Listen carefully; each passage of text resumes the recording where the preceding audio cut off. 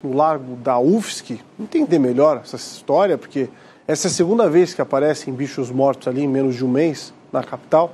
A Kelly tem mais detalhes ao vivo. Oi, Kelly.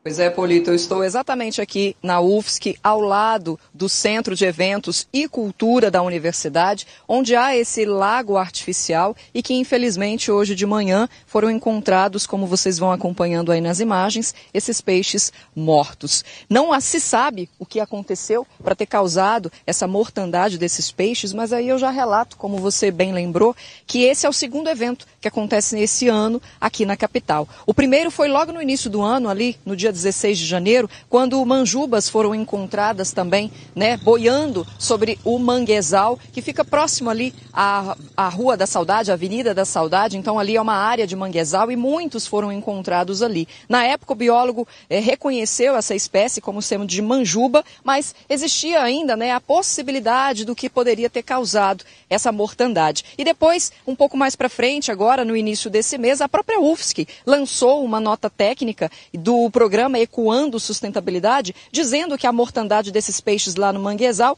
era justamente por falta de saneamento básico e que também isso teria provocado diarreia né, nos humanos. E, além disso, todos os problemas de balneabilidade e que, além disso, também existia essa, essa falta de tratamento de esgoto provocando também uma falta de oxigênio na água, para fazer com que esses animais então continuassem vivendo na perfeita harmonia entre o meio ambiente e também o que há aqui do lado externo. E o que acontece aqui, Polito, a gente ainda não sabe. Vocês vão acompanhando nas imagens, são dezenas de peixes, viu, que estão dentro da água, né, que a gente vê boiando. Alguns, inclusive, eu não sei explicar se já é, passou alguém por aqui e já tentou fazer a retirada deles, que estavam muito concentradas dentro da água, e colocaram desse lado de fora, porque a gente observa vários já ao ladinho aqui, né, desse calçamento que tem, como se fosse o beiral desse lago, que tem uma mata aqui ao redor, e muitos deles já se encontram aqui. A gente, é claro, procurou a UFSC para saber em relação a essa situação, se eles já estavam cientes, e o que foi dito é que eles estavam justamente promovendo a limpeza aqui do local, e além disso eles iriam transportar algumas espécies vivas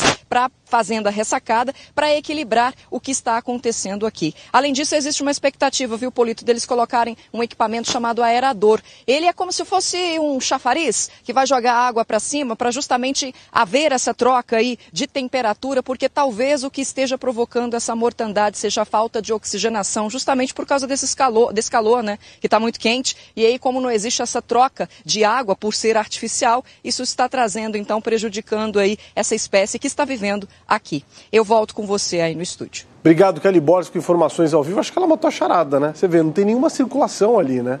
Não tem nenhum chafarizinho ali para poder justamente promover essa troca de gases na água. E os bichos apareceram mortos. Vamos ver, né? Vão ter análises que vão ser feitas Tomara que encontrem uma saída para esse problema para que os bichinhos possam continuar vivendo numa boa, né? Mas perdemos alguns. O Ministério Público de Santa Catarina pediu uma audiência